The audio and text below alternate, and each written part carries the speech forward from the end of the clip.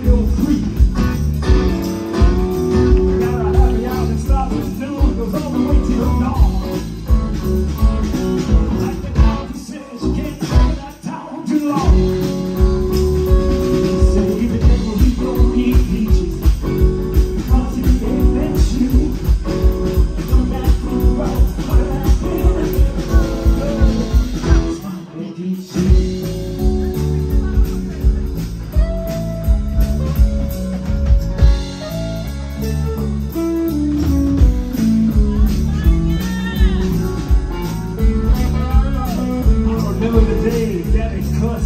she just cried. And that doctor looked me straight in the stinking eye. He said, I warned you, son, This really ain't that